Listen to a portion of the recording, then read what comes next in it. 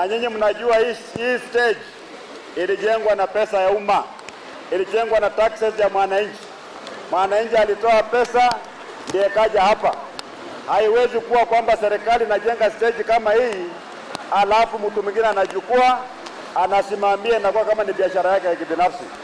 Kwa hivyo ile hatua ambayo ilichukuliwa watu wetu kuondoa wale matapeli katika soko hii ni hatua ambayo ilikwenda kuleta ukombozi katika stage hii, ili watu wetu wote ambao wanataka kufanya biashara, wawe ni hawkers, wawe ni bodaboda, wawe ni wahudumu wa matatu, wapate nafasi ya kujifanyia kazi hapa.